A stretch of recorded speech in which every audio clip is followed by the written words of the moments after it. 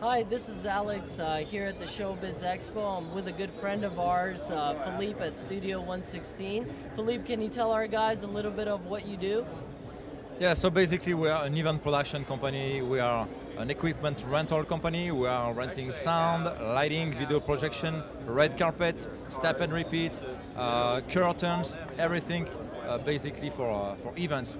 However, we are also on the movie production part, you know, side, let's say, and we are providing uh, the light for film, you know, lighting for film, and uh, also uh, the graphic design and the animation, animation design as well, you know, uh, which is a, a, new department of the company.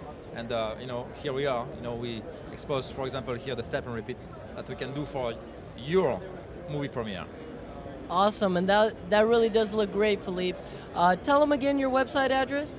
So the website address is uh, studio116corp, C-O-R-P.com, studio, S-T-U-D-I-O, 116corp, C-O-R-P.com.